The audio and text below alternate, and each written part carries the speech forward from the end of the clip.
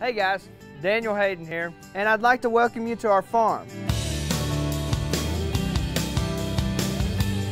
Thanks to AFS and QC Supply, we now have some of the most state-of-the-art chicken houses, broiler houses that are out there, and some of the most efficiently running. And I'd like to show you some of the equipment that they supplied for us.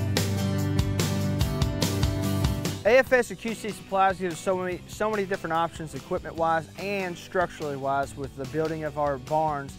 We chose this particular door for the ends of our houses because it's solid, it is one piece. We do have the ability to seal these doors and they also have other doors such as row seal doors. They have the bifold doors. They have many different options, but this is the one that we actually went with just from our experience in broiler production. It works the best for us.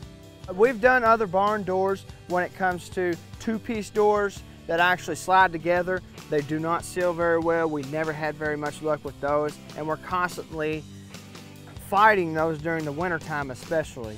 So having a solid door is a huge advantage for us to be able to seal it during the winter times and the summer times because we're always needing everything to be airtight so that our ventilation is properly working to provide fresh air for our chickens.